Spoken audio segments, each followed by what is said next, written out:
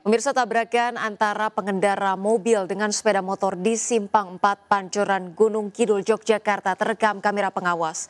Kerasnya tabrakan bahkan membuat pembonceng motor terpental.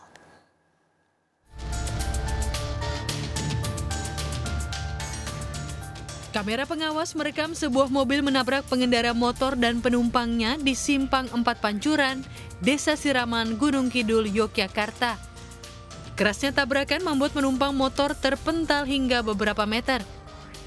Kecelakaan yang terjadi pada Senin dini hari berawal ketika mobil minibus tengah melaju dari utara menuju selatan.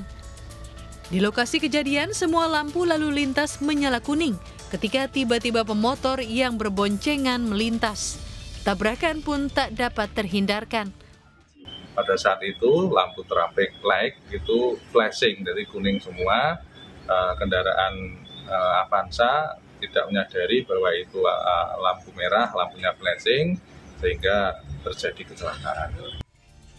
Akibat kecelakaan, pengendara motor dan penumpangnya dilarikan ke rumah sakit terdekat dengan luka di kepala dan kaki.